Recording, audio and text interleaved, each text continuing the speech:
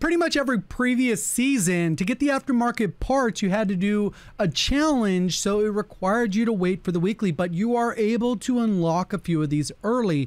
Every patch notes that we get for the season is list about seven or eight aftermarket parts that people kind of get excited about. And for whatever reason, they allow you to unlock a few early this time around. And I don't think it's intended because when you complete the challenge, it has some kind of like weird name that pops up like they haven't finished that part but that's happened plenty of times in the game before. So normally we can't see the weeks that we have out uh, but as you can see here in the weekly challenges we'll get one here there all the way up until eight weeks. This is a list of the new aftermarket parts that are coming. Uh, we already expected these like i said week by week. The harbingers week one uh, i would imagine that these will be like week two through five or something like that because they already added the decimator which is for the lockman shroud converts it to a full auto so it ends up being like the lock Lachmann sub.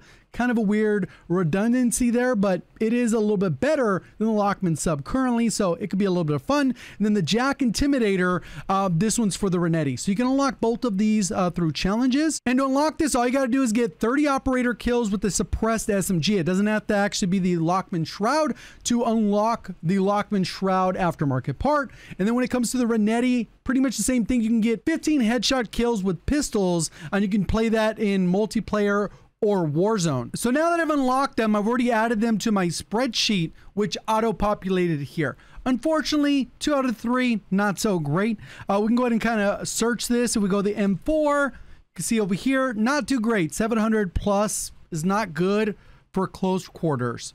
Uh, long range, not so great either, especially when you consider the recoil. Uh, when we go to the Renetti, also not the craziest good thing because it's all the way down here at 121st up close. And then at range, it's not particularly good either. Coming in at 1000 TTK, but not really all that great.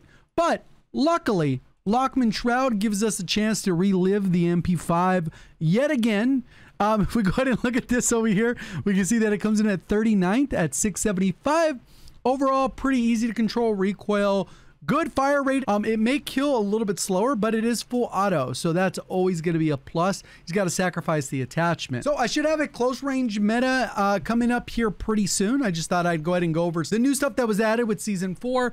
Uh, obviously, we'd go with the 50 round mag. We like the iron sights. We know the recoil pulls a certain way, um, so maybe we would dive into mobility and use whatever MW3 attachments we can because the MW2 attachments are pretty restrictive and tend to suck. So it kind of limits what we're able to do here. The bullet velocity is not great. We can't make it better there. Uh, we can only make it better here, but that's going to kind of slow it down on the other areas. But we can go up to 14 meters with that TTK. So that's the other thing that holds it back. If you were able to use all MW3 attachments, you'd probably be better off. Uh, but you can see right here,